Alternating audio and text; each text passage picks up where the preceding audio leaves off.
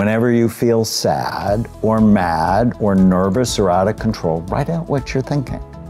And then it's five questions, but it's is it true? Is it absolutely true? With 100% certainty. And that's the one that usually cracks it. Like, um, worthless.